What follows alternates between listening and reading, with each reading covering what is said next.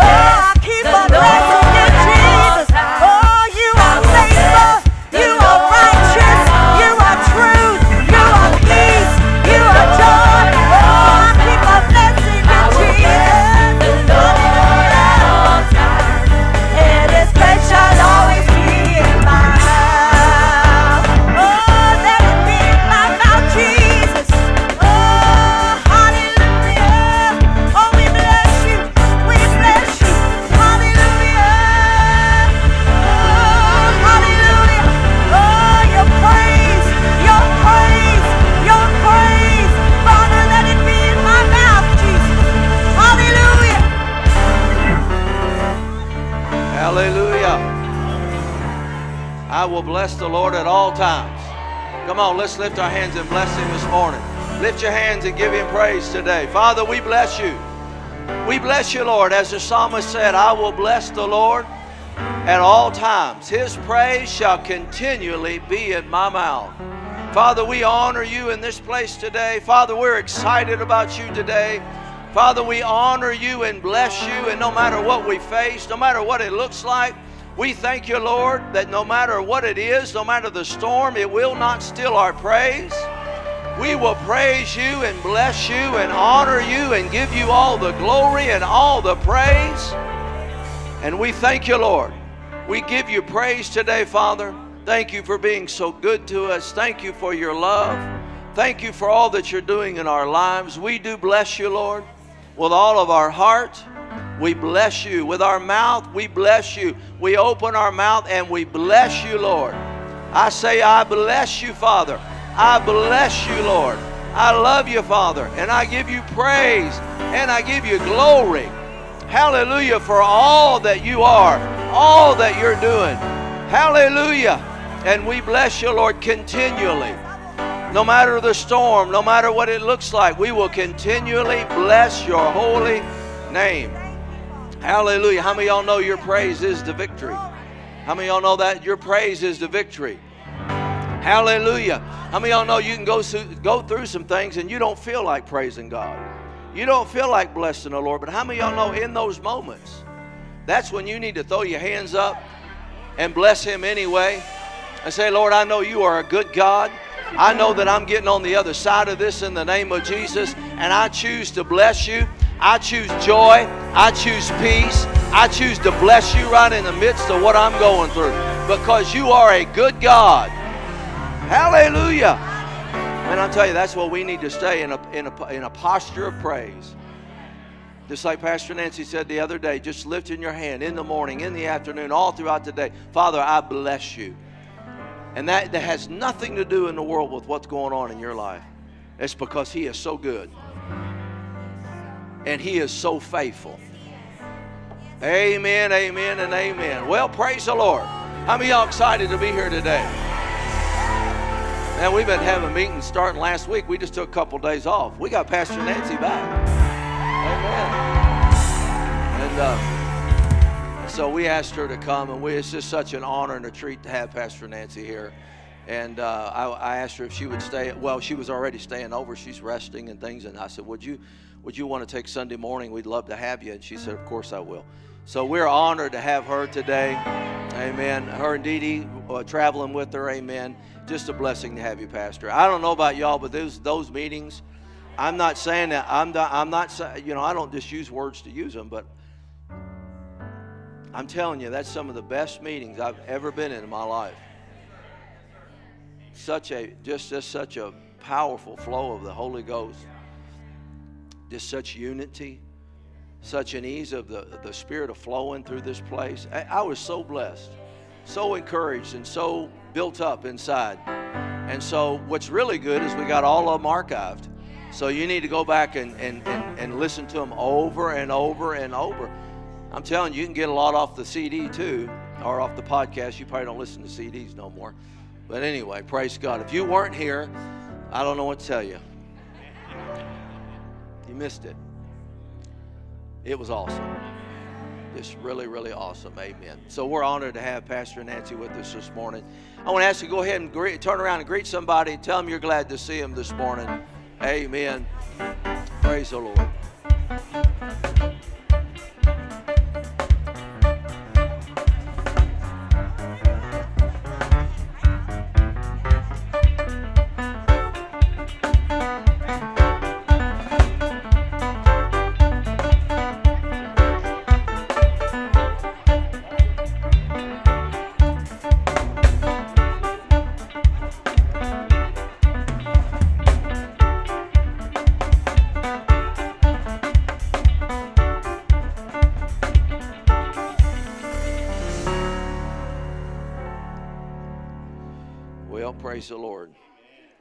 I don't know about you, but I'm excited about today.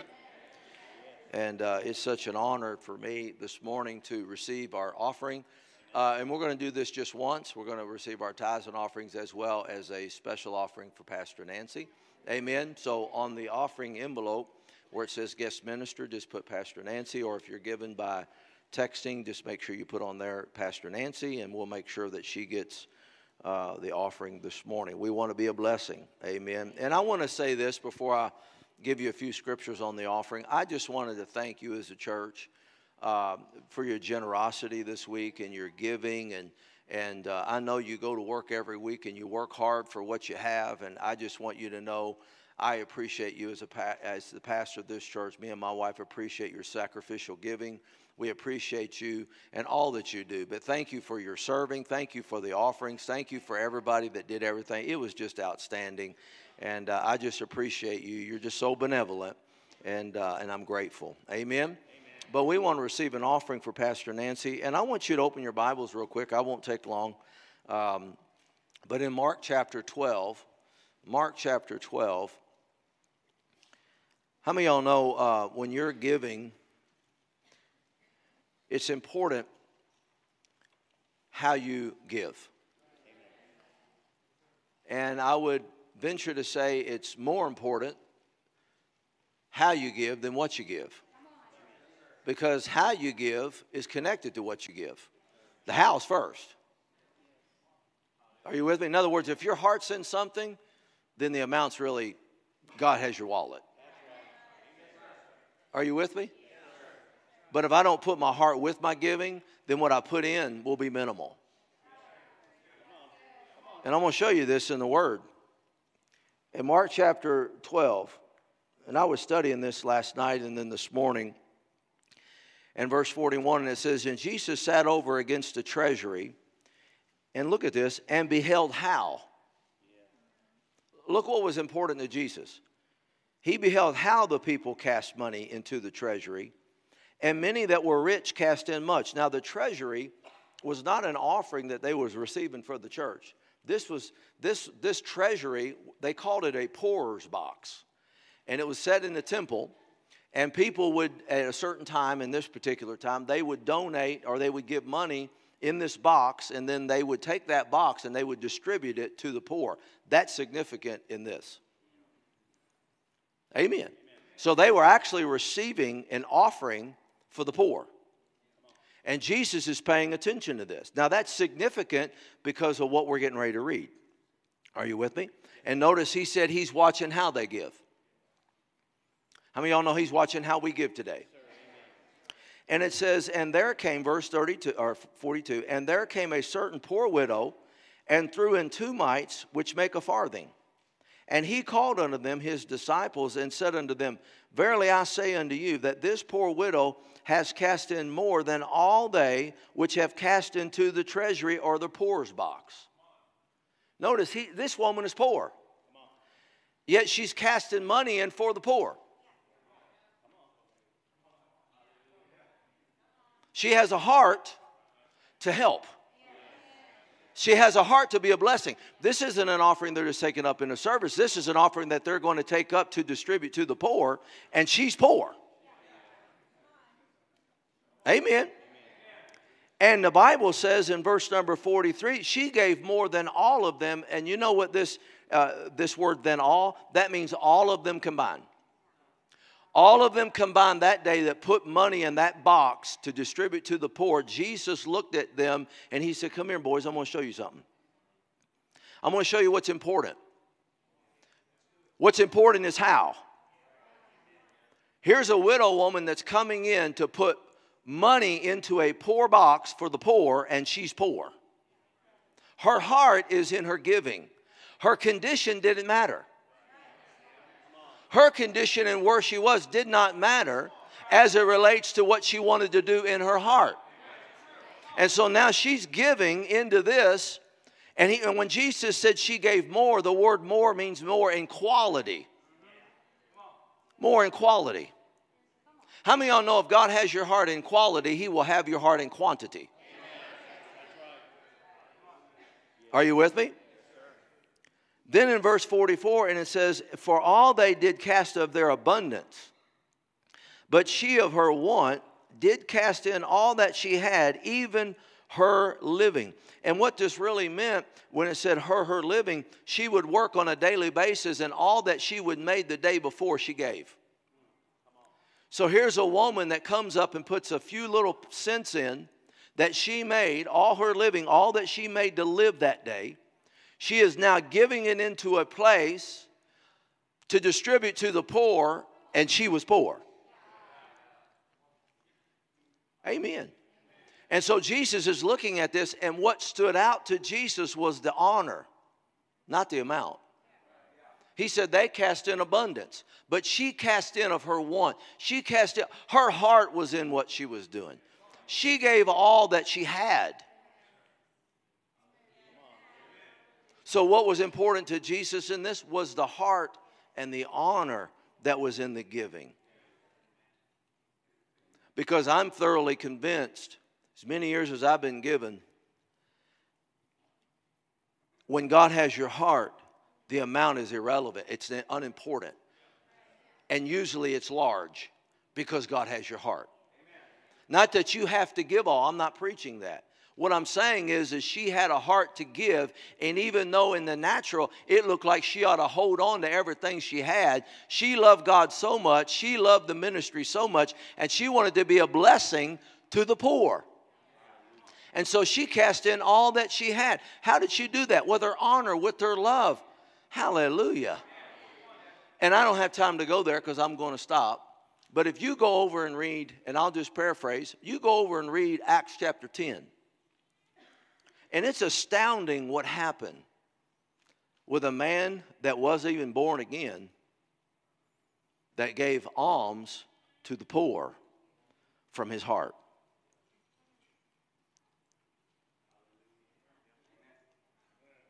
He gave, wasn't born again, but he gave out of love. He gave out of his love for God, he gave out of his love for the work of God, and he gave to the poor. And it says he gave abundance. Here we have an example of someone that just had a little bit and gave. Now we have another example of Acts chapter 10 of a guy who has abundance, but God has what? His heart. So the heart is when the person that had just a little bit, and now the heart in giving is a person that has abundance. And you know what the Bible says in verse 4? It says, An angel said, Listen, your, your offering to the poor, your offering has come up for a memorial before God. Something is being built up before God, and he's not even born again. But he had a love for God, he had a love for prayer, and he had a love for people. And now this memorial is come up before God. And as this memorial comes up before God, God recognizes that memorial. Now, this is all having to do with an offering, all has to do with giving. You know what happened in, in verse number five and six? He said, Send men to Joppa. Somebody's being sent now because of an offering. He said, Send men to Joppa and go get Peter. Amen. This ain't go get Peter and bring him to you. Something's being brought because of an offering. He never even went. His servants went to Peter and he caught it up in a vision. You know the story. Peter caught it up in a vision. He said, Go to this guy. Why? Because of his giving, because of his heart. It brought a rescue to his life. Not the money, the heart in what he was doing brought a rescue back into his life. And all of a sudden, they came to him. Peter came to him and started talking to him about the Lord Jesus Christ and him being crucified, etc., etc. And he got born again. The Holy Ghost fell on them.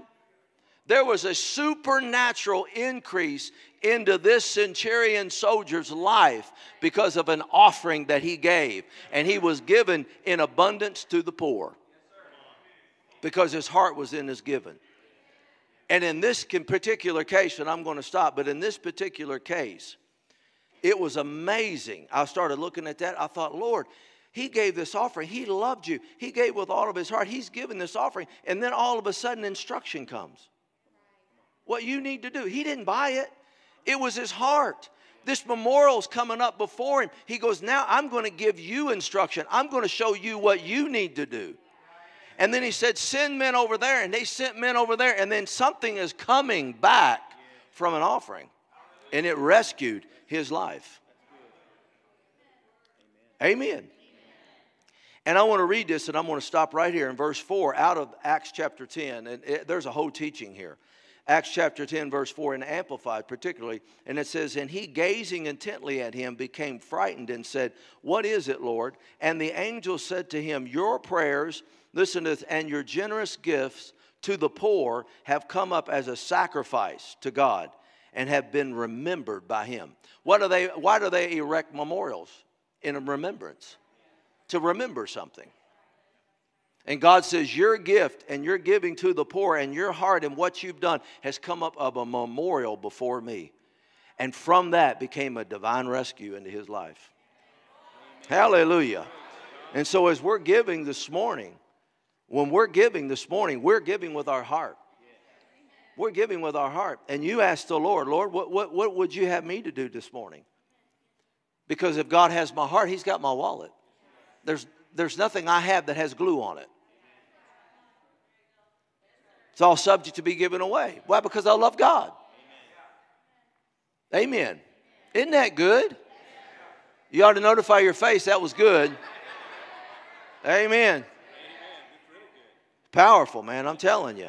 And so don't overlook when it comes time to giving as something that's menial and something that doesn't really matter much that it really don't matter how much i put in the offering plate it matters how much you it, not only that but it matters your heart and what you're doing so let's receive an offering this morning for pastor nancy and, uh, and let's be generous we are a generous church amen if you're giving by cash please lift your hand and take one of these envelopes the, ushers are in the aisle and they'll serve you praise the lord and make sure that you fill that out in its entirety so that we can rep- uh, properly receipt you. I think a lot of times in our giving, I'm not accusing you of this, but I think a lot of times in our giving, we don't think much about it. We just throw money in and let it go by. Instead of really using our words and really using, you know, and thanking the Lord for what He's doing in our life and really engaging. You know, our, in our offerings, we should engage with God. There ought to be an engaging there. There ought to be, God, I'm so thankful. God, I'm so appreciative of what you're doing and it's an honor to give. Amen. Praise the Lord. Well, hold your offering in your hand. If you're giving by text, you can. Uh, they have the text to give up there. You can do it by text to give, or uh, so hold your offering in your hand. Father, we're so grateful this morning for all that you're doing in our lives, and Father, we sow this morning from our heart, not from a grudgingly or a necessity. We sow with a cheerful heart that we love what you're doing. We love the local church. We love Pastor Nancy and her ministry. And we're grateful for her ministry now going all over the world. And Lord, we have a part to play. We can't go all over the world with her, but we can help send her. And so it is a great honor for us to be able to, to sow this seed into her life for all that she's doing for you and all that she's done in our lives. We're so grateful.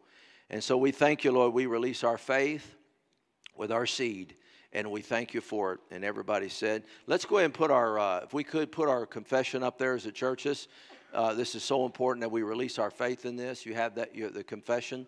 Uh, praise the Lord. Oh, there it is. I was looking back here. Sorry. On count of three, let's let's uh, say this together. One, two, three. Divine increase is moving upon this church family. It's moving upon me.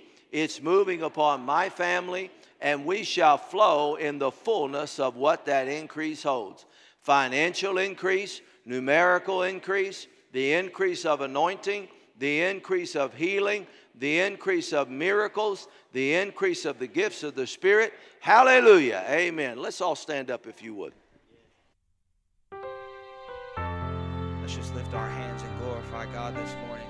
Let's worship Him. Father, we thank you. We worship you. We glorify you. Oh, we thank you, Father. We give you the highest praise because you are worthy. And only you deserve the highest praise. Thank you, Father.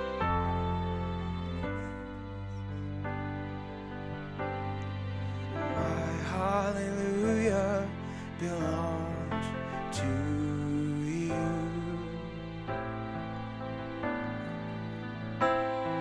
And my hallelujah belongs to you.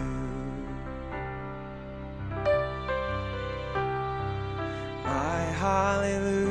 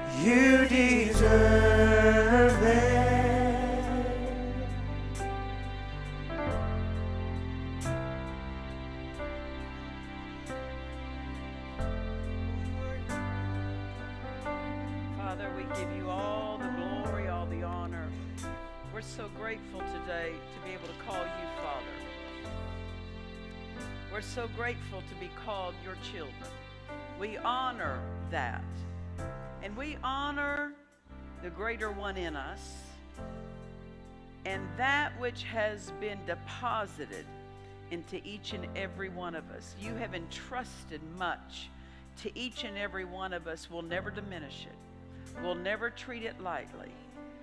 But we honor all that you have put in us so that you can flow through us in a greater way. And we give you thanks and praise and glory for it. And everybody said, Amen. Um, I want to say a great big thank you again. It's fun to be back here again, yes?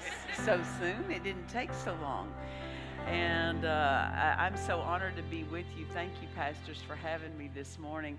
And the pastor thanked you for your generosity, but again, I want to thank you for your generosity. I mean, it was over and above. Um, and we appreciate it so much. And, you know, I appreciate when Pastor was talking about Cornelius because one of the things that stands out to me so much is this was a man not born again, without the life of God, and it, it would not behoove us for a man who did not have a covenant to outdo us in our giving. But not only that, we see that for God to bring the gospel into the Gentile world, it took a giver to open the door for the gospel. And uh, why? Because giving is an action. It took an act of faith, not just somebody saying, I love God, but never following it up with an act. Your pastor always talks about over there in Proverbs um, about that we honor the Lord with the first fruits of our increase, talking about it's a giving. I, I love this, this word, we honor the Lord with. You can't honor the Lord without. you can, your honor has to be with something. It, uh, honor, honor has to be attached. And whatever it's attached to demonstrates the degree of the honor. And like he was saying, it has to be attached to not just an amount, but to the heart, a giving heart. Amen. And so uh, we see something that Cornelius, uh, he led in the Gentile world in his giving. Not just in amounts, but in his interest in what God had. And it took the heart of a giver to be the open door. And we're standing here because of the heart of a giver. We're, we were Gentiles. We're now the church. But because of Cornelius' heart of giving, and when you have a giving heart, it opens the door for God to do something for others. Because that's what we see demonstrated that the whole world was affected by one man's giving. It was his heart. It was his interest in God. And when you show interest in what God has done this week, no telling all that's going to play out in this community and through this church because the heart of a giver opened the way for God to go further with his word in the lives of people. So thank you for that. And all over the world, wherever we get to go. Amen. So thank you for that. And the reason, one of the reasons you have the heart of a giver is because you're taught well by your pastors. And so, hallelujah. Hallelujah. So none of us can congratulate ourselves, right? Our success and our obedience is connected to someone else, to another man that taught us what that's what that looks like. Amen. Hallelujah. We'll turn around to three or four people, give them a great big God bless you this morning, then you can be seated.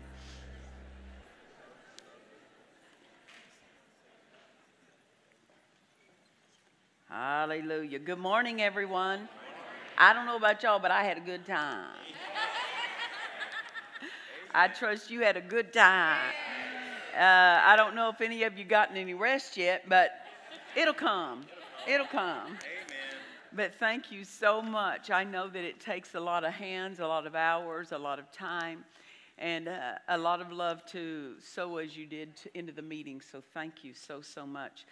Um, I want you to turn with me to Philippians chapter 4 today. Philippians chapter 4. Um, I, I, had, I had in mind to go one direction last night when I went to bed, and when I woke up, the, the direction was different. And uh, I, I, love it when God prescribes something specifically for us. And um, when I started in July, our daily broadcast started airing on the Victory Channel, which is Brother Copeland's ministry, his network. We started weekly in January airing on his broadcast. But I started in uh, February filming for the daily that would start in July. And uh, God led me in, to first teach on the mind. And I spent the first 80 episodes teaching on the mind. Didn't exhaust it, but just thought, well, we probably need to move on. but 80, that's 40 hours of just teaching on the mind. Because if we get that wrong, nothing else works as it ought. That's right. That's right. Everyone's got a mind. Yep. you got to know what to do with it so that you can receive what God has for you and be a channel through which God can do great things. Yeah. Amen. Amen. Wrong thinking shuts down everything God has. Right thinking is an open door to God. So the more we think right, the more we cooperate with Him. The further we move with Him. And you say, well, it's my faith.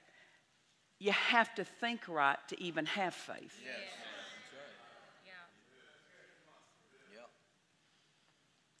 Wrong thinking will uh, limit faith. Right thinking takes the ceiling off your faith, takes the lid off your faith, takes the limits off your faith. Uh, right thinking produces right believing. Right believing produces right actions, Yep. right words. Yep. And God's power meets actions and words. Amen. Yeah. So, wrong thinking produces wrong believing. Yep. And wrong believing produces wrong words and wrong actions, and thereby closes the door to the power of God. Mm-hmm. It all begins in our thought life. Yep. It all begins in our thought life. And what we allow into our heart is going to affect our thought lives. Wrong things come, but you have to keep them out. Yeah. Good. Right. Just because something shows up at the door of your life doesn't mean you have to open the door. Right. Come yeah. on. Yeah. People show up on the porch of your home and they knock. Why? Because it's up to you who gets in. That's right. Right? It's the same thing with your thought life. Just because wrong thoughts show up doesn't mean that you have to open the door. Come on. I've had people come to my door and I look and I see who's there going, mm-mm, not even dealing with this today. Not even. No, I got no time for this. No, no. No time for this. That's what, when my husband went home to be with the Lord, one of the first things I said to the kids, don't you touch this in your thought life because I don't have time to pull you out of a hole of depression, grief, and sorrow. We've got to be up and running like never before because of this transition. I didn't have time. I was telling them, you cannot open the door to the wrong thing. And I don't care how long something bangs on your door. I don't care. Somebody can come to your door and stand there just for maybe a few moments and knock and realize, oh, they're not going to open and they walk away. Then you get some people that are rude. Yeah. Yeah. And they will just stand there. you know, especially if they know you're there. Uh-huh. They see your car. There have been times when somebody knew I was home and I'm just not going to deal with them. I just wouldn't even open the door. Yeah. And just because you can hear them knocking doesn't mean they're in. That's right. Just because thoughts are banging against your head, that's no sign they're in. That's a sign that they're trying to get in. And the devil wants to make you think that because th- something's banging on your head that your faith is failing. On. That's a sign that it, you haven't let it in yet. Yeah. Amen. You can't stop who knocks on your door. You can stop what happens with your door. Amen. Amen. And so God dealt with me about teaching on the mind because everyone has one. You cannot sit here today and say, This doesn't mean a thing to me. It means a lot to you. and the thing is, you never can, you can run off and leave your purse at home, your wallet at home, uh, something else at home, but you can't run off and leave your mind at home. You can't get away from it. So you might as well become skillful with it so that your mind doesn't ruin your life. So that your mind doesn't rob you of peace and joy. Your mind is not the source of your peace. Your mind is not the source of your joy. Once you're born again, the nine fruits of the human spirit that come in by the Holy Ghost are in you. And it's up to us to cause those uh, fruits to grow love, joy, peace, and all. It goes on and lists those. Those do not reside in your mind. No, that's right. That's right. You don't look for those flows here. You look for them from in here. And you draw them out. You stir them up. And fruit grows. You have a you have a fruit tree, that fruit grows. And as the tree gets larger, more branches and there's more fruit. Why? So that someone can partake of it. When something shows up that doesn't have joy, no problem. You got your own joy tree.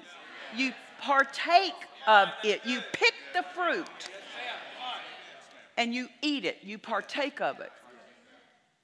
And your thought life is part of that. Amen. I said it this during the week sometime, but I said, um, not every circumstance in life is going to offer you peace or going to offer you joy. That's no problem. You brought your own. And people who are only living off of the peace and joy that a circumstance offers them is living a troubled life. Because many only know how to draw from out here. What people say, what circumstances offer, what money they get, what money they lose. They only know how to draw out here. But there's a fountain that springs up that you're to drink of, that's to water. So, a sound mind that belongs to us in Christ, we turn this way and we draw out of our spirits. And no one can do it for you. Your spouse can't do it for you. Your parent can't do it for you. Your pastor can't do it for you. All they can do is remind you what's in you. That's all. But we have to be skillful at the dark 30 of life, turning this way when, every, when there's great pressure on the mind, when there's great difficulty, great challenge, that you turn here. You have to practice that because the, it's natural to turn to the natural. It's natural to go this way. We practiced our whole lives going this way. As children, it's all about this way. Right. As young people, especially before we're saved, it's all about this way. And even when you're saved as a child, the, you still have to learn that the flesh wants to go this way, and you have to retrain that. Amen. And the mind is part of this because everything that comes to your mind did not come from your mind. Right. Right. Now, that's what you have to learn. Everything that comes to your mind did not come from your mind. When God speaks to you and deals with you, it's from here, from your spirit, from your insides. When the enemy comes, he comes from outside, striking the mind. But when God speaks to you, it has to float up from the inside and enlighten your mind. It has to arrive there. But it begins here. When Satan comes and anything of the wrong flow, it comes from out here and still arrives at the mind. Now, this is where the strategy is learn where did that come from? Did that come from here or from out here? And you must be very discerning. Because the devil does he wants to portray himself as the leading of the spirit. So he will try to imitate as closely as possible the dealings of the spirit. Why? So that you're confused. And you'll yield to something from out here, but it sounds so soft and friendly to the thought life that many people aren't guarded and they're not recognizing. the devil can the devil's a liar. Yes. A liar will use truth right. to further his lies. That's good. Yeah. You, you, you, I don't know if you've ever met a person in life that my mother used to say about different people. She'd say, they'd, they'd lie when the truth would sound better. because they're liars. They get into that flow that they couldn't tell the truth if their life depended on it, just out of their own character. Their own character is so compromised that they just get into that flow of conjuring up, lying, exaggerating. Nothing, you, you don't have confidence in anything they say. Um, the devil's the same way. But he will use truth to benefit the lies he tells. For example, um, Paul and Silas, remember, had a Paul had a dream. Man of Macedonia appeared, said, "Come here." So they go to Macedonia. They're going. They're they're they're ministering in that region, and there is a girl with a spirit of divination following them. She's like a fortune teller, following them. She's not born again. She doesn't have the life of God, but she's saying something. And she's saying, These are servants of the Most High God. They show unto us the way of salvation. Nothing wrong in that. Absolutely true. How did she know that? The familiar spirit she yielded to knew them. She's saying the right thing. Why? Because even though she's saying right words, it's the wrong spirit saying it. And I guarantee you there was a repelling going out with those words, pushing people away because it's an evil spirit. The words sound good. Mm, so they don't dismiss her, but then because there's an evil spirit that she's yielding to, you get around someone that's yielding to an evil spirit and they are repelling. You'll be grieved in your spirit. There's a repelling with that. Haven't you? I don't know if you wouldn't, may probably even have it here, but I've been in services when someone operating under the influence of the enemy and they do something and it like sends a dead feeling out over the whole congregation. It's not because of what they did or said, it's because of what motivated them. That spirit they were yielding to. So this girl is yielding to an evil spirit, and even though she's saying the right words, it looks like she's on their side so that people will listen to her. She's following, but it's sending out the wrong influence. And it's ending, it's ending working up a repelling. Paul, this went on for many days, and it says Paul said, it says about Paul, he was grieved in the spirit and turned around and rebuked the spirit. Yeah. Right words, wrong spirit. Right words, wrong spirit. Right words, wrong source. In your mind, you can hear right words, but you better know the source.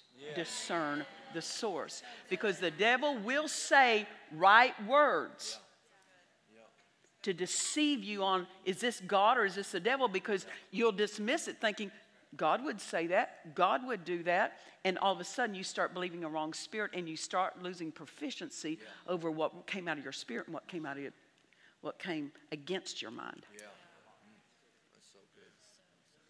He wants to deceive you. He wants to confuse you. What came from God, what came from the devil. I don't like the statement when preachers say at offering time, if you hear two numbers, God is the bigger one. That's a lie. That's a lie. There's no scripture for that. There is no scripture for that. You know what you have to do to be scriptural? Have scripture.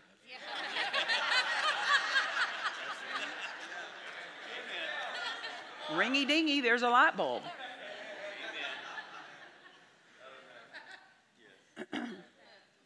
I have had God tell me an amount.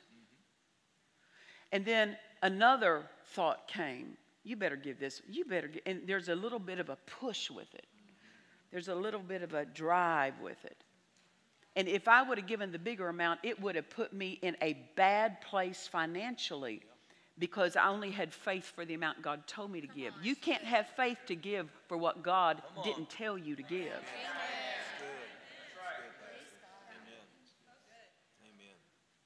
That's what I'm talking about. you have to discern because what God says comes up to the mind and what the devil says comes to the mind. You've got to discern the source. And they're not always obvious. It takes practice. Will you miss it? Probably. As in, the, as in the learning. But as we go through life, we, we should become more skillful. If every thought that the enemy sends to you is obviously wrong, he's shot himself in the foot just by his approach. Because you're going to immediately recognize. God said to me several years ago when I speak to someone, with my words come an influence. It's called the anointing. I've never heard God speak and not sense the anointing. I've always sensed the anointing with it, sometimes in a greater degree, sometimes in a lesser degree. And He said, I send an influence with my words to help you receive it. That's good. It helps you receive it. You recognize that anointing. That anointing softens you. That anointing blesses you. Yeah. And, and it helps you receive it. He won't make anyone, but he will certainly make, he can certainly influence with that anointing so that people can make the right choice. Now, the devil, there's nothing original in him. There's nothing creative in him. He is a distortion of everything that's already in, in, in, in play. Yeah. He's an imitator, Yeah. Yeah. and not even a close imitation, a distorted imitator.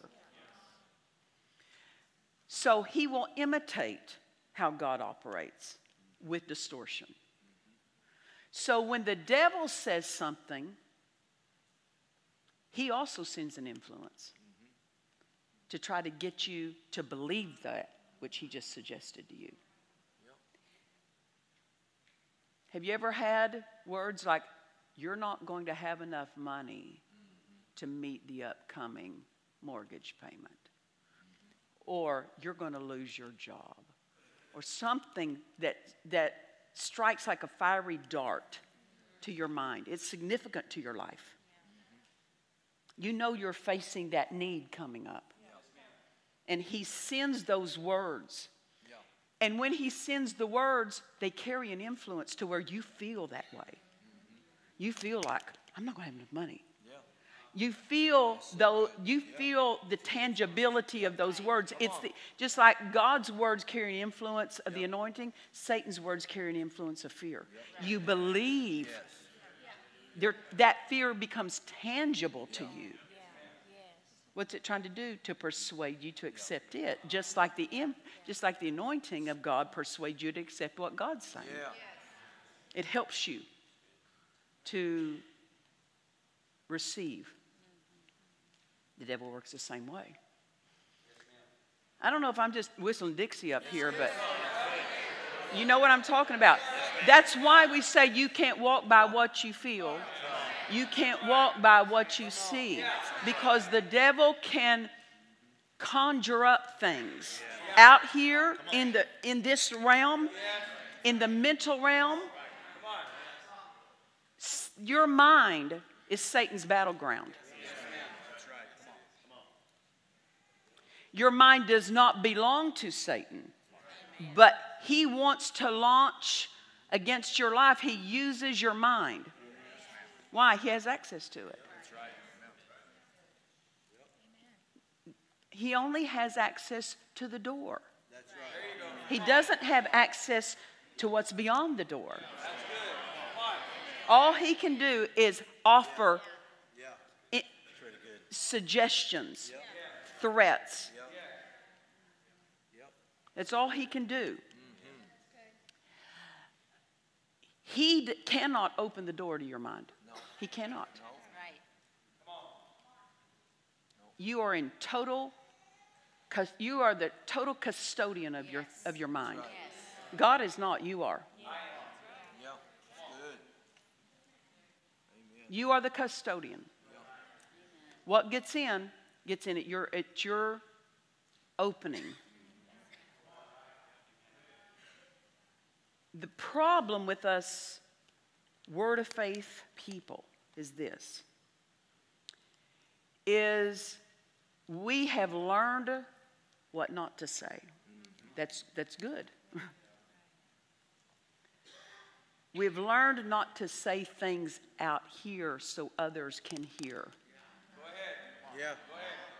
But not everyone's learned what not to say to themselves.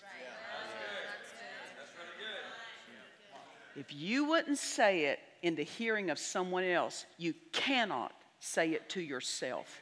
Because saying it to yourself is still saying it.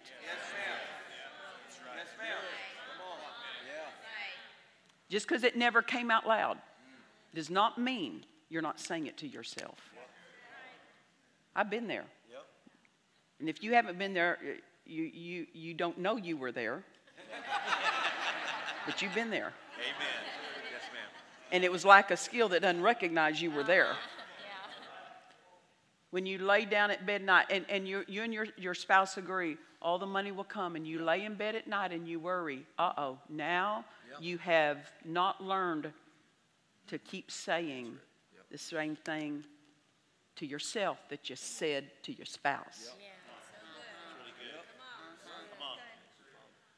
Now, a sound mind is one who doesn't say something different to itself than it says in the presence of God.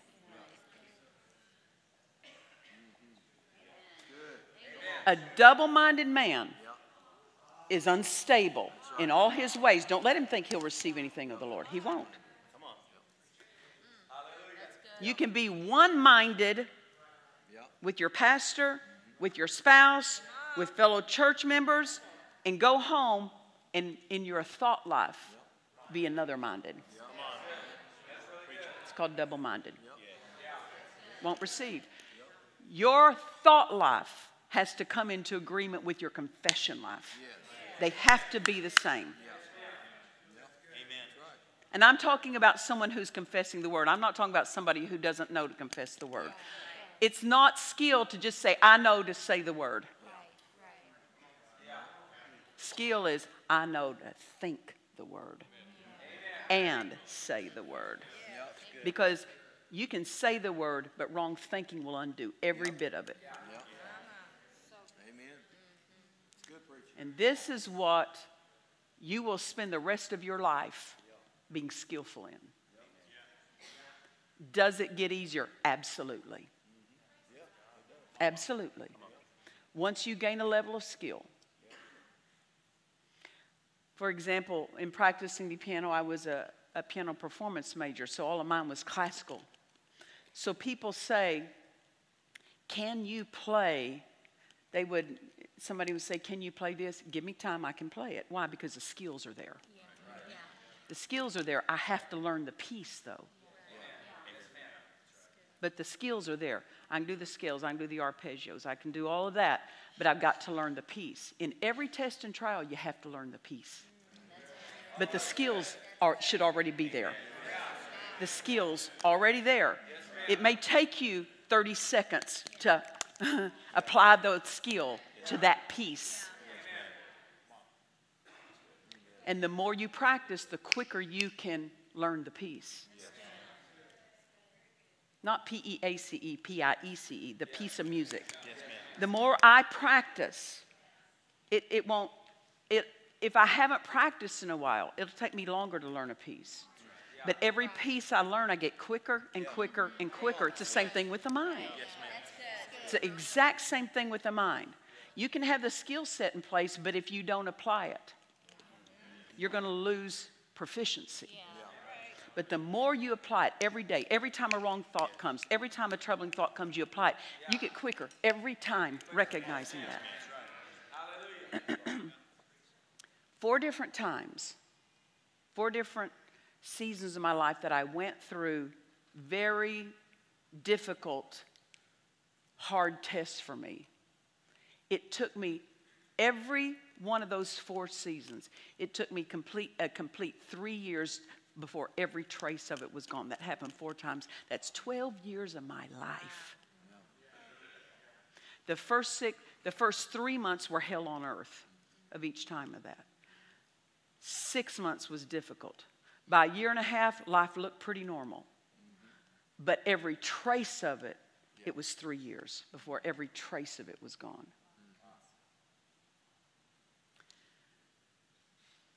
My husband used to say, every 10 years, there comes an attack. Now, see, you can learn the pattern. For me, it happened at 18, 28, 38, 48.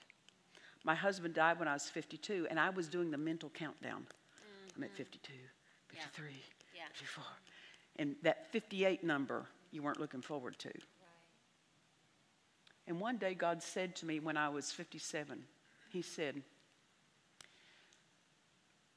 Just because a test comes doesn't mean you have to enter it. Mm. And then He said this to me You entered it on the pr- four previous times because you lacked skill. But He said, Now you got the skill. You don't have to enter it. But he said, but if you do the mental countdown thinking you have to enter it because your husband said every 10 years, he said, then you'll enter it. But he said, I'm just telling you, you have the skill not to. I go, you're right. You're right. That test came, it was not even 30 seconds before it was over. What n- used to take three years, see what skill did? It turned three years to 30 seconds. Skill.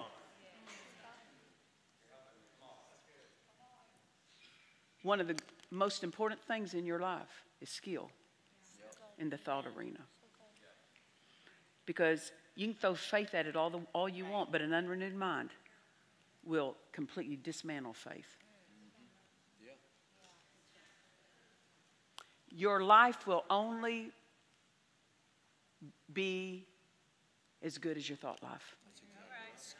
It won't be as good as your faith, it'll be as good as your thought life.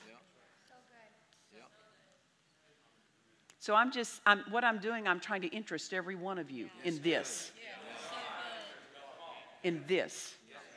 When you're, when you're skillful with your thought life, your faith will flourish. It will grow quickly, it'll be easily. Part of the difficulty, and I'll preach to preachers, I'll say something to preachers' kids, and, and I say it because there's a lot watching.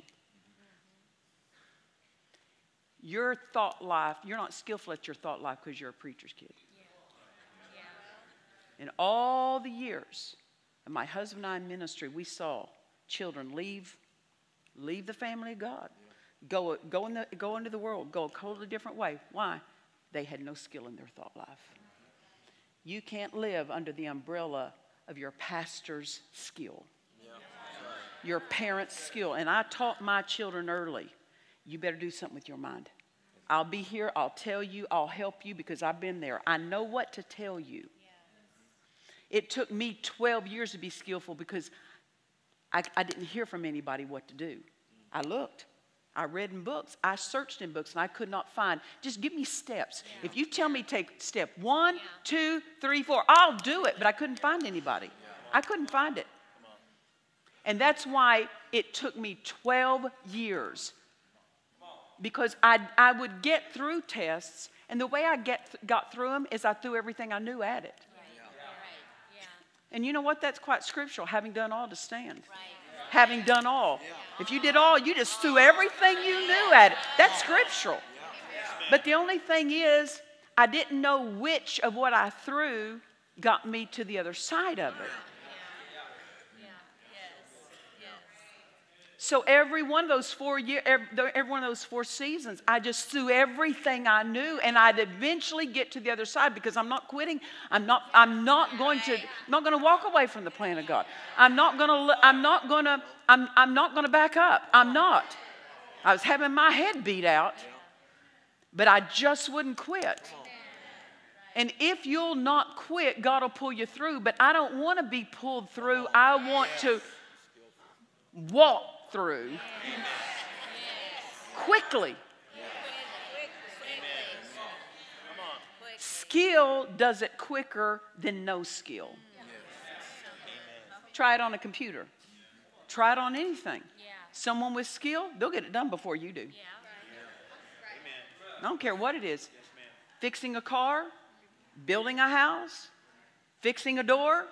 Someone with skill will get it done quicker than somebody with no skill. And you say, no, I can slam a jammer. Yeah, but it's going to fall apart. you might, you might do the, you might do the band-aid method, but next week it's going to fall apart and hurt more people. Cost you more. I'm not talking about the slam a jammer. I'm talking about skill. I don't appreciate slam a jammer. I've, I've had too much of that. And some people live a slam a jammer Christian life. Just don't learn skill. They just, they just, you know, rely on others. They don't, they're not interested in their own personal growth. Not interested in anything put on them. That slam a jammer stuff falls apart, baby. It falls apart. and everybody can see the crack, the, the, the, the joints don't meet. You got cracks, you know. Takes a whole tube of caulking just to halfway disguise it. y'all, y'all know what I'm talking about. Y'all know what I'm talking about.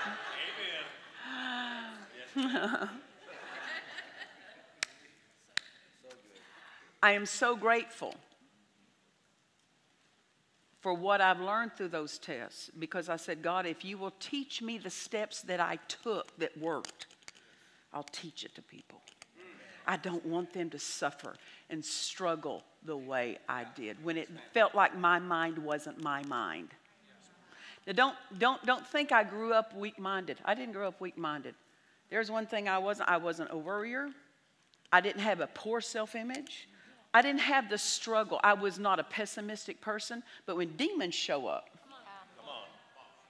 they can produce feelings that if you're not skillful, those feelings will convince you of the wrong thing. And I will get to those steps that God took, took me through. But uh, I taught my children I can't win this battle for you. You have to win the mental battle yourself. Can't win it for you.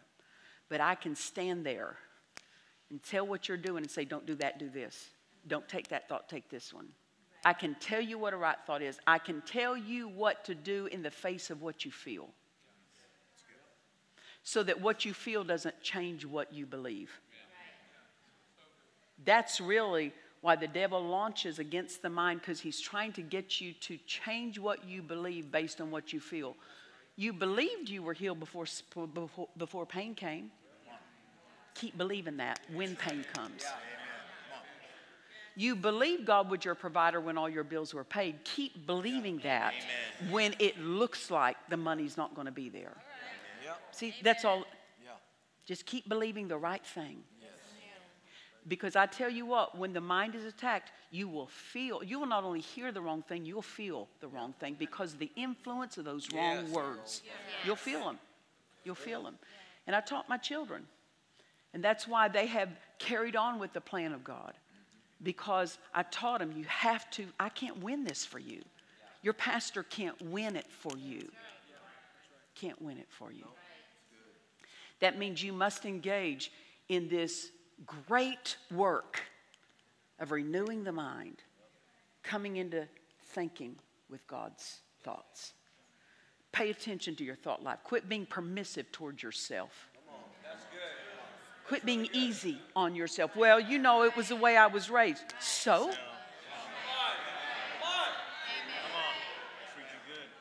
That might be a cause, but that's not an excuse. I don't diminish. Some people were so mistreated in their early lives. I don't diminish that. But what you going to do about that? You're not required to fix that. You're required to live above it. Not only required, you're empowered. And until people quit talking about how hard it was, they won't talk about how good he is. Change the shift. from how I've been treated, how somebody, and then people give themselves permission to feel beat down, act beat down, live like a victim because they like laying the responsibility for their life on that person who mishandled them. God won't let you claim that before the judgment seat of Christ. That will not that argument will not hold up because the blood cleanses that. So you can't you cannot plead a cause that is cleansed before him.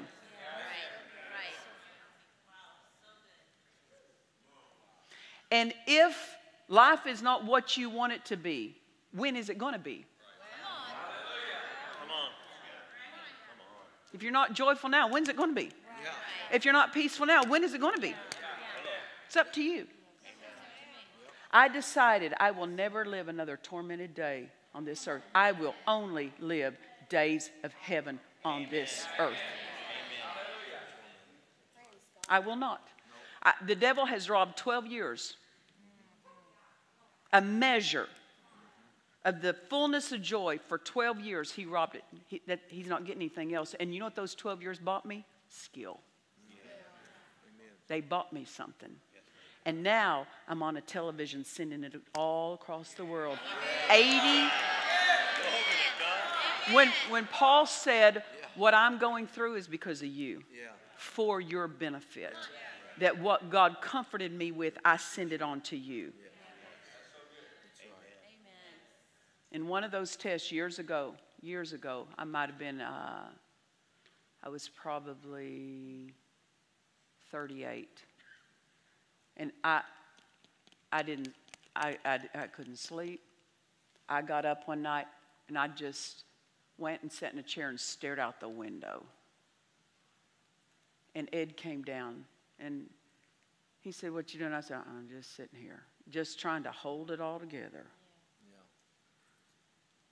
We're not called to cope. We're not called to manage and hold it all together. But that, I didn't know what I know now. I don't want it to take you as long as it took me. If you'll listen and apply it and quit living by what you feel. Quit believing your feelings. Quit believing your emotions. Quit believing how somebody treated you. God offers you something better. You know, it, you know, if, if somebody handed you a piece of candy as a child and it had already been sucked on and it had fallen in the dirt and it's got dirt on it and there's ants on it and stuff, and then somebody else comes by and hands you a great big colorful rainbow looking lollipop that's wrapped up and brand new, and they say, Here, baby, you can have this instead of that. And you go, No, but this is what I have because that's just what they gave me, and I don't. That's the way a lot of people they hold to. But you don't understand how they treated me, and I don't need no no no no no no no because it gets them attention, but it's the wrong kind. What God offers us is new and shiny, baby. New and shiny. Yet people just hold on to that sticky, ooey, gooey stuff that. And then so they can cry and get that attention. You go, you're not talking to anybody here. I, I know I'm not.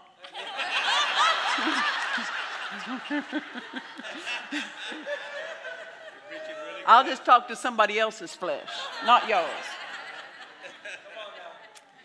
But the devil has made your mind his battleground because he has access to the door. He doesn't have access to your mind, he has access to the door to your mind. He can't come in unless you let him.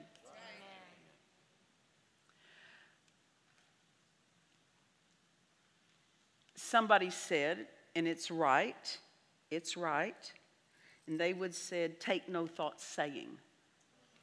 Over there in Matthew 6, verse 25, Jesus said, Take no thought for your life. And then he goes on, Take no thought saying where. What we misunderstand is saying happens out here, but saying happens in here. So we think if we don't vocalize it, we're winning. But then why is my head still being beat out? because of what you're saying to yourself. Right. You take a wrong thought offered you by saying it to yourself. Turning it over in your mind is saying it to yourself. Thinking about it is saying it to yourself. Mm-hmm. You say, Pastor Nancy, that thought just slams into my mind. Some thought, whatever. Finances, your body, whatever. Some thought just slams into my mind. I'm trying to get rid of it. No, no, no, no. You don't have to get rid of it. Turn your back to it. What did Jesus do when Satan said something about worship? He turned his back. Get thee behind me, Satan. What's that mean? I heard you, but you're not getting in. To show you're not getting in, I will not give you my attention. When Peter said, Oh, no, it's not going to happen to you, you won't be offered up. You, you won't be, you know, all this bad stuff that you, you just told us is going to happen. You, it's not going to happen to you. What did Jesus say? He turned his whole body to him. Then he said, Get thee behind me, Satan. In a moment, that's what you do with the wrong thoughts. You turn your entire attention away from it. How, does it, how did it get turned over in your mind? You put your attention on it.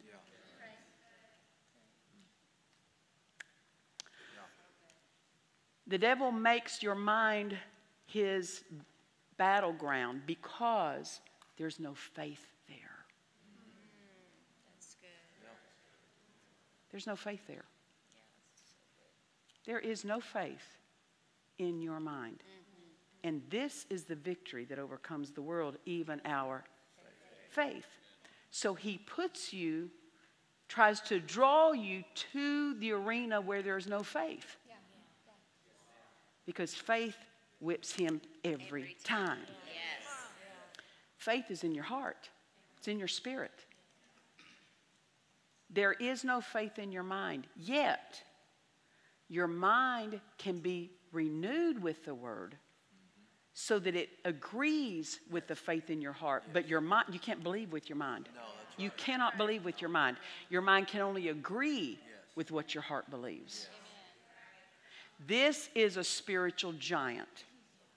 Someone who believes with their heart and their mind agrees with what their heart believes. That's a spiritual giant. Those are the people that change the earth. Because not only are they tending to their spirit life, they're tending to their thought life because the mind is the gateway to your spirit. If your mind says no, your mind won't let it into your spirit. God says something to you, but your mind rejects it. Why didn't you get saved before you did? Your mind rejected it. When did the new life of God come in you? When your mind agreed. Your mind had to agree, and then your heart was open to receive it. But somebody can come and preach to you, and you go, I don't believe that. I don't believe that. No, I'm not getting born. For, for a year and a half, this is, this is bothering that, isn't? For a year and a half, a man invited my husband to church, unsaved, and Ed wouldn't, colorfully. he declined colorfully. And in that, he could have been saved a year and a half earlier, but his mind said no. And because his mind said no, the truth couldn't reach in his heart. Your mind is the gateway to your spirit. If your mind is troubled, it's going to limit what the dealings of God you'll accept. The pastor will talk to you about how God wants to make you rich, and you go, I, I, I, I, I, yeah, I can't. I, I just, I, I, I just can't receive anything from people. See, their mind talks, and it doesn't even have a chance to reach their heart. Anyway, so the devil seeks to create so much commotion up in the mental arena so that you're occupied up here where there's no faith instead of occupied down here where there's faith. So our skill is to refuse to go to that mental arena and be held there. And instead we stay in the faith arena, which is the spirit arena. That's where your faith resides, is in your spirit. You can't, you can't teach this to people all in one service, but you've had a pastor who no doubt has taught you these. So this is not new to you. But we're wanting to say things in a way that helps you grab even more. Even more. I somebody was interviewing me uh, just a few, a couple months ago, and they said, Nancy, what was your darkest hour in life? I said, There's, I can't say there was a darkest hour. They're talking about what event. Right. Yeah. I said, when my husband died unexpectedly, I said, that was a tragedy, but that was not the darkest time of my life. I said, the hardest time of my life was when my mind wasn't renewed. And I didn't know the answer to the difficulties that showed up. That was so hard. When you know the answer, it's not hard. There's no more dark. Because the light of the word won't let anything ever be dark again, no matter how So tragic it is. I know too much. Yeah, that's right. I know too much. Life will never be dark for me again. I've got too much light. Amen. That's good. Hallelujah. And I told him, I said, it's not one event. And people are baffled when I say my husband's homegoing. That was the greatest tragedy. Don't misunderstand me. But that was not the hardest time because I knew what the word said. I knew what the word said.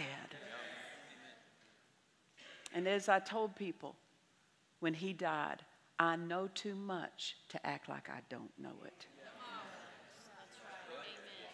Come on. The difficulty with many Christians is they've been taught the right thing and they lay down the right thing when the wrong thing shows up. They go back to the way they used to think, back to the way they used to act. And they're built on the sand. Yep. On the sand. Yep. And that sand gives way under them and can't support them. Praise the Lord. I said, Praise the Lord. The greatest defense against the devil is a renewed mind. It's your greatest defense. Those Christians who do not take the time to renew their mind are open prey. They have to rely on someone else to bail them out. And that is dangerous. A Christian who is in bondage to anything is not in bondage to the devil. They are in bondage to an unrenewed mind. An unrenewed mind will hold you in a place of defeat, and you can't blame the devil. A renewed mind means taking on the thoughts of God, making them your own, and letting them govern your everyday life. If they're not governing your everyday life, your mind's not renewed. Being able to quote the scriptures is not the renewing of the mind. Worshiping God in a church service is not the renewing of the mind. The renewing of the mind is when you take uh what you've been taught of the word and you put it into every situation and every moment of your life. That's how the mind becomes renewed. It's the word lived. The word lived in everyday life and say, This is the way my life will be. It's my choice. Amen. Um, with every encounter with the enemy, we are to face that encounter with the full knowledge he has already been defeated. No matter what shows up, the one who opposes you is already a defeated foe. You don't have to defeat him. In fact, you can't. That's why Jesus came and did it, because you couldn't. I couldn't. We were no match for the devil.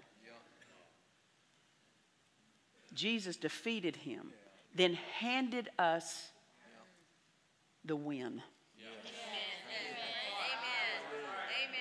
So anytime something shows up, you're showing up, devil, to someone with the win. I've already got it. Come on. I'm not trying to win this thing. I hold the win in my own spirit. And I hold it in my thought life too. An unrenewed mind thinks that they've got to get something. There's one letter that can keep you either defeated or in victory, and it's either an E or an O. I got to get or I got. I'm trying to get healing. I'm trying to get prosperous. I'm trying to get peace. No, no. It'll always elude you because one letter is missed. You're one letter away from enjoying everything in you. By saying, I, instead of lose out of your, your, your vocabulary, I'm trying to get. I've got. I've got. And every time the devil shows up with feelings, with thoughts, with lack, you say, I've got. Changes everything. Amen. So, anyone who's in bondage to anything of the devil, it's because they don't realize they got. And they're not honoring to what Jesus already made theirs. And that dishonor will keep it el- eluding them. Satan, in every encounter with him, you approach him, you see him as completely, utterly defeated, stripped, regardless of what I feel, regardless of what my emotions are doing, regardless of how they may be raging, regardless of the, the feeling of the fiery dart Yeah. that strikes. I don't care what I feel. You have already been so totally defeated and stripped. And you will not sway me off of I've got. Amen. I've got. I've got it. I've got it. And that's what he's doing. He's trying to sway you off of that because it's only faith that calls it got. It's unbelief that calls it get.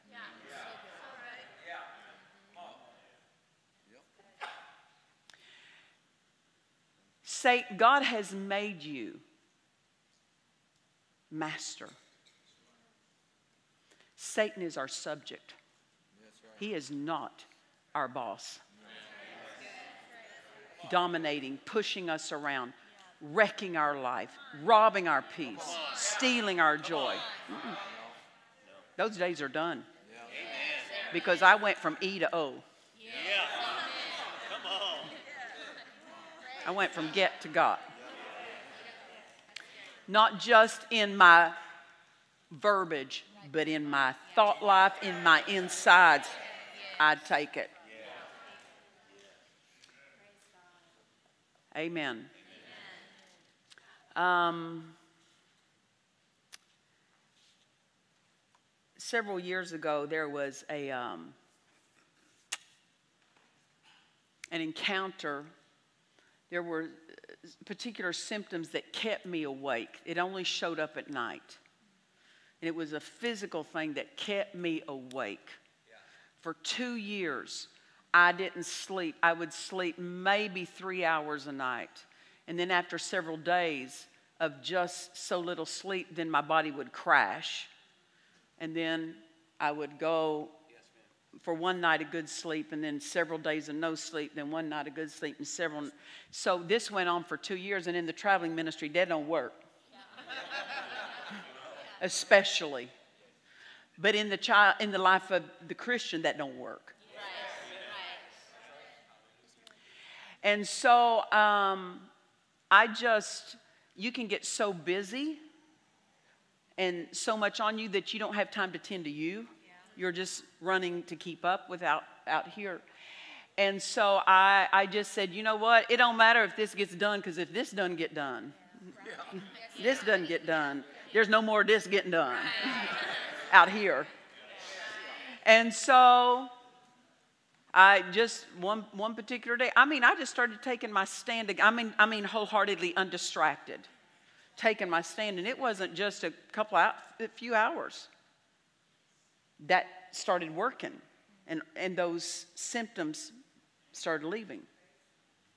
But in the midst of that time when I first started taking my stand in a bold way, not just a half heart. You know what I'm talking about? Oh, I resist that in Jesus' name. Then you walk off and you, there's no more faith to it. That, that, that half hearted stuff. That just don't work. Um, but I had a dream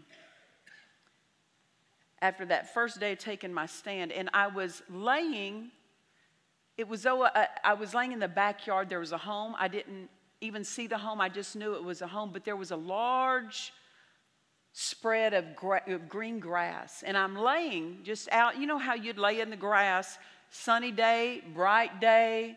I'm laying there just flat on my back.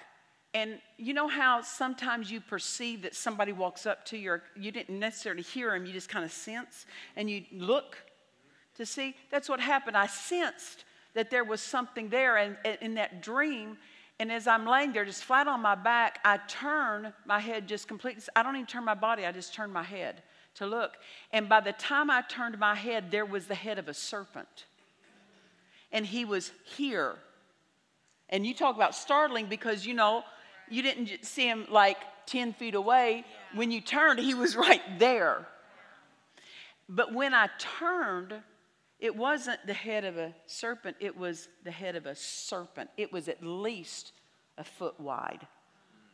And you can imagine an enlarged picture of a serpent.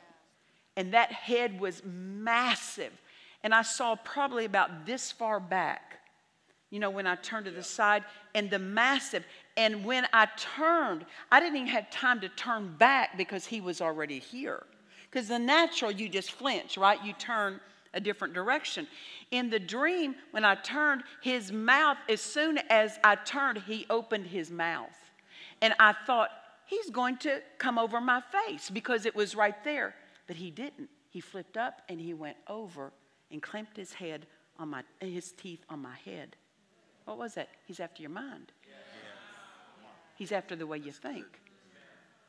That's what God was showing me. He's after your thinking. So in the dream, he has now come and he's clamped on to the top of my head. And when he did, God picked me up. And it was like I was looking down on the scene. And when I looked down on the scene, because when I was laying on the grass and saw him, I could see about this much, you know, just because of the angle you're at. But when God picked me up, and it was like a cherry picker, He mm-hmm. picked me up, and I looked down on the scene. His body was only about this long because the rest of him had been ripped off. I'm not talking a clean cut, it was a shattered, jagged, torn. God was showing me he's all talk, trying to get into your head. He's got no substance left to him.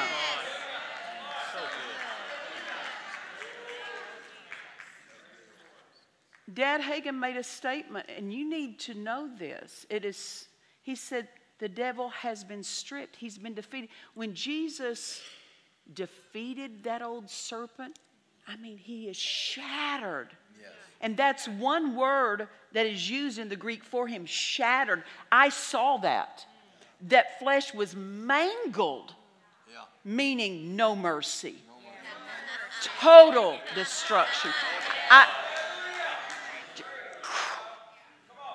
I mean, it was like if, if you had this massive snake and they had tied one end to a tractor and one end to the other tractor and just pulled, that would have not been a clean cut. That's exactly the way this looked.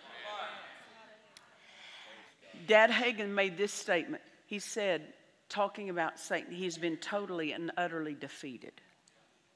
He's got nothing left. He said, the only thing he has left is the power of suggestion what he threatens you with. what he says. You're going to die young. You're going to have this. You're going to get sick. You're going to, it's all talk. Yeah. It's all talk. He's got no ability to back it up unless he can get you to believe it and say it, and then he takes the power of your words and defeats you. Yeah, right. Come on. Because his words don't have any power. Right. Yours do. I love something Brother Copeland said. He said, Everything the devil has, he stole. He's a thief. The peace that people don't have, he stole it. The joy people don't have, stole it. Everything that has been stolen, get it back multiplied.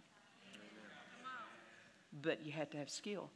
You can't be in the posture that you were in when he stole it. You have to be in, in skills position. Then I'll close with this. um, I was working on a particular project, a ministry project, years ago.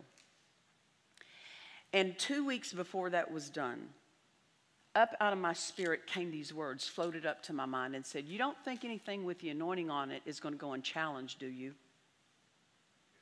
I go, ah, shoot. you know.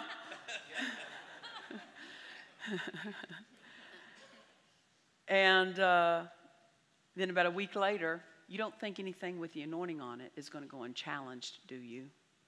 I go, no, I don't. I sure don't. What's he doing? He's letting me know. Be watching, watchful, be vigilant. The day that project was finished, I walked into my home. It was probably um, oh, about 11 o'clock at night. And the moment I walked in, the spirit of fear was present.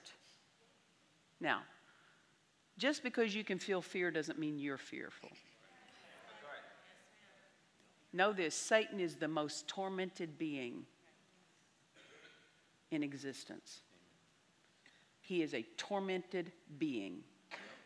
When he comes in, or anyone sent by him, an evil spirit comes, you feel what he is. When the presence of God comes into manifestation, you feel what he is the peace, the love, the joy, because when he shows up, everything he is is with him. Right? And you sense that when his presence comes into manifestation. Well, likewise, when the devil shows up, everything he is comes with him. It's not yours, it's his. Right. Just because you can feel fear, Yeah. it's not yours. Just because you can feel anxiety, it's not yours. Just because you can feel pain, it's not yours, it's his. It's not yours, it's his. Now, if he can get you saying to yourself that that's yours, then you'll take on what's his. But if you took it on, you can kick it off. Just as easy as you took it on, get it off by refusing to believe it's yours. You say, That's not mine. That's not mine. I'm not taking it. That's yours. You're going to have to go home with it. So I walked into my home and I felt that fear. I had learned, I was in the process. Remember, I told God, if you'll teach me the steps I took that got me on the other side of that, so that I want, I want to know accurately what steps, so I'm not just keep throwing stuff. Right. Right. And I was in the process of learning that. One of the things he had taught me was number was to answer the spirit. So when that spirit of fear I walked in, I recognized that's fear. So I said, Spirit of fear, you leave. I talked to it. If I could say it was bumped up right against me when I walked in, and when I said that, he stood off. And I know where he stood. He stood in the corner of that entry area, he just stood there. And I said, No, you got to leave. And he just stood there. Because when I walked in, he said something to me. He said, This project is going to fail. This project is going to cost a lot of money, and it's going to bring great embarrassment to the ministry. He spoke those three things and just stood there. And when I spoke to him and I said, Fear, you leave, he stood off. But he didn't go. And that, that baffled me. Because in this process that I was learning, I learned if you answer the Spirit that speaks to you, He's got to leave. But He didn't leave. I don't know everything, so I just do what I know. And I said to myself, I'm going to bed. It's bedtime. In faith, I'm going to bed. I'm not going to get, stay up and give this thing attention. I know that faith is all about your attention, what you're going to have your attention on. And sometimes you have to go to bed in faith when the, when the, when the flesh wants to sit up and worry about something. Right. So I said, No, I'm going to bed. And I went off to my bedroom. Had great difficulty fall, falling asleep because that spirit followed me into the room. He was not up against me, Right. but he was at a distance in the room. And he stood over there in the corner by the door. And I said, God, I know he's here, but I don't give a rip. I refuse to give him my attention. So I went off to bed praising God.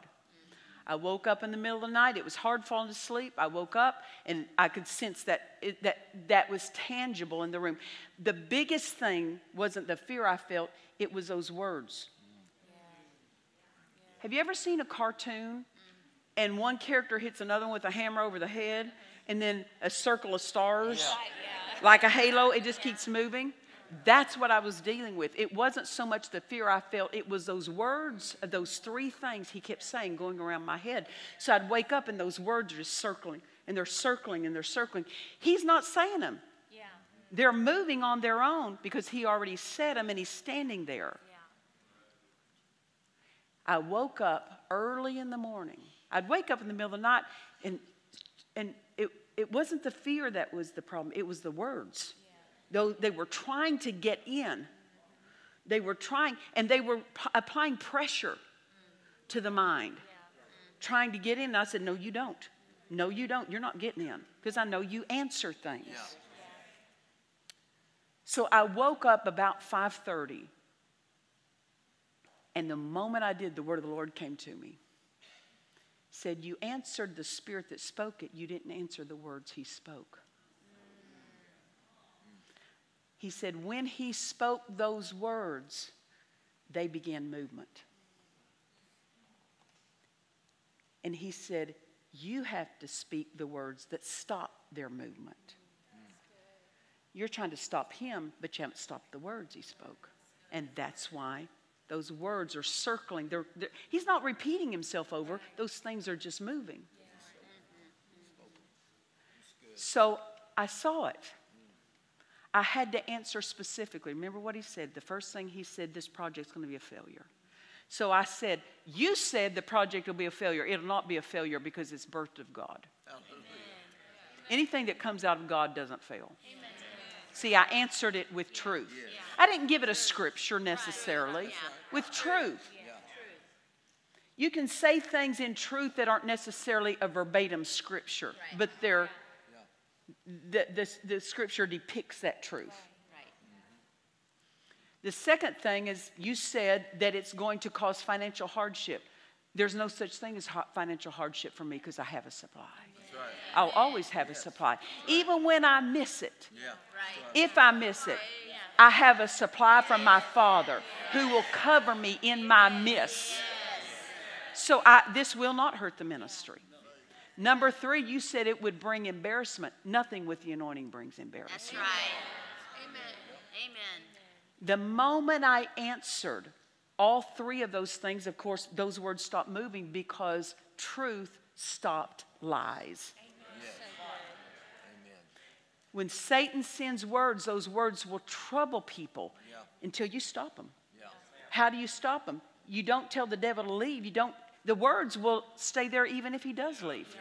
Yeah. Words are. They have a force. Yeah. They're a living thing. And you have to stop the life of that by speaking that. Then, after I spoke those and those words stopped, I could still feel the fear. And I said, Now you leave the room. And that spirit left. And I said to God, How come the spirit stayed? When I told him to leave, he said, Because what you don't resist has permission to stay. I said, I, ga- I told him to leave. He said, but the words gave him the right to stay because something of him you didn't resist. His words. Yeah. He was standing there seeing what you were going to do with those words. That's what he was watching was the words. He was watching the words. Is she going to let him in? Because if he if I let him in, then he can attach himself. And it won't just be words anymore. Now it'll be fear.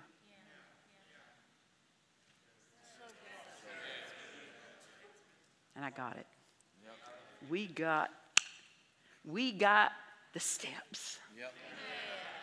that no matter what opposes you, number one, answer the words specifically, Yes.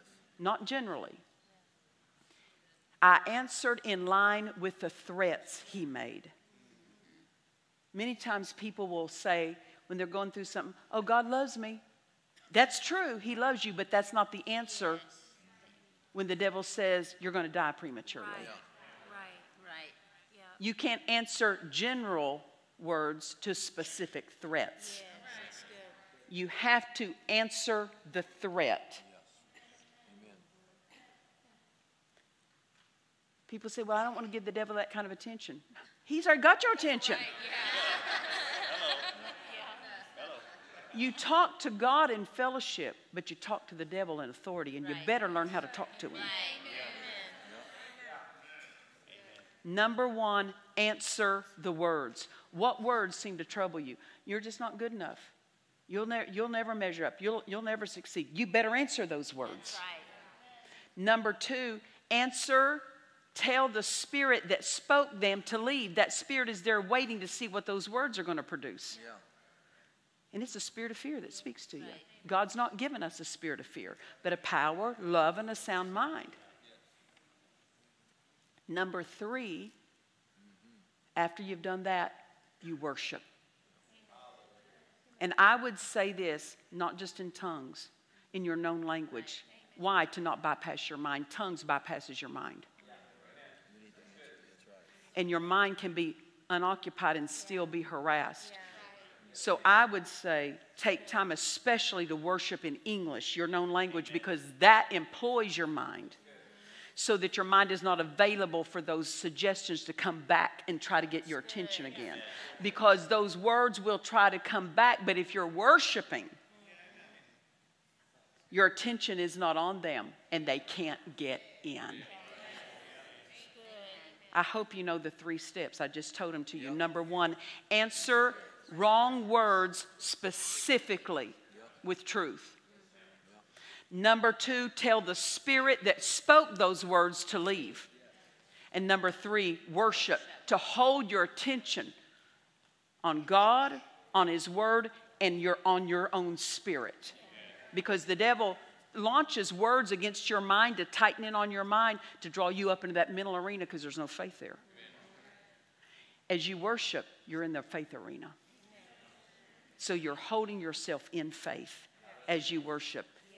And he cannot gain entrance where there's faith. Are you helped this morning? It took 12 years of my life to learn it. Don't you dare treat this like it's just another sermon. Don't you dare. I will come to your house and poke your door. Don't you- That's my life. Laying in that sermon. You better treat it right. Get these things on the inside of you. And can I tell you what? I'll tell you this that is not your revelation. Yeah, that's right. Just because you heard me say it, it's not yours. Only the Holy Ghost can make that revelation to you. And how does He do that? If you'll meditate on it, He'll drive that thing into your spirit.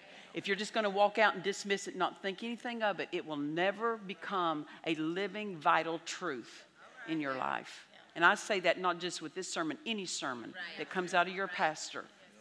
You'll never take ownership of it until you put it in place in your life. Amen. Hallelujah. I appreciate, Jesus said, one of the characteristics of the last days is men's hearts will fail them for fear.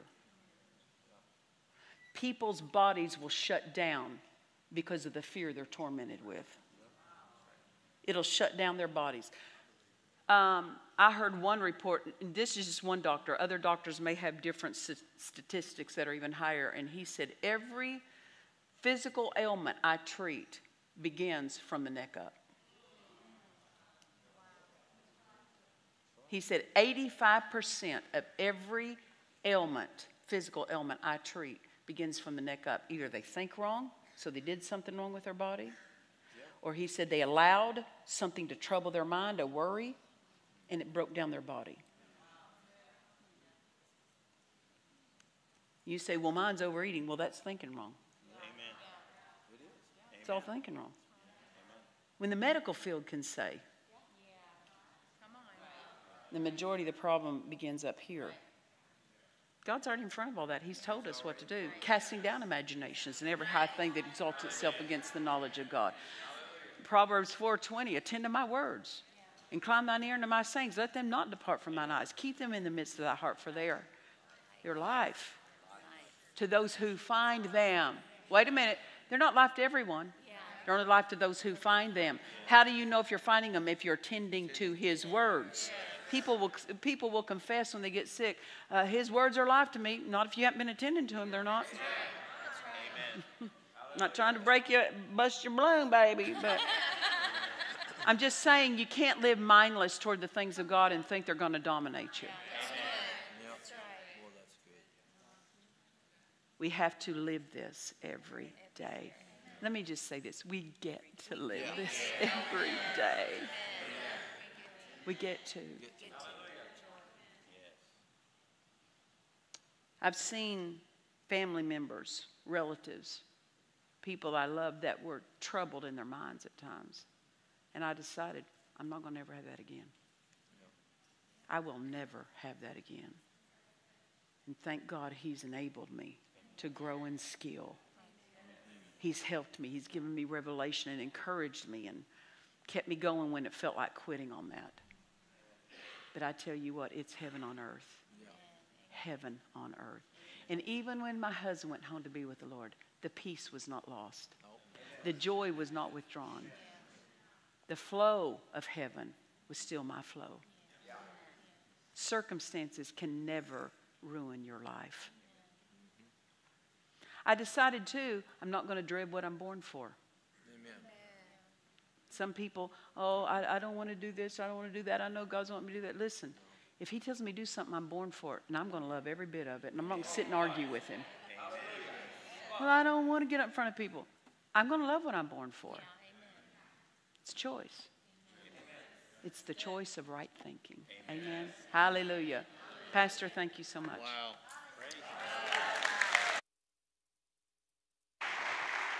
Wow. That was so. I don't even have words. That was heavenly. And I'm not going to keep you. I'm not trying to preach another message. I'm just telling you, that was a visitation from heaven. How many of y'all, with the show of hands, would say that I ain't even said it yet? Y'all raising.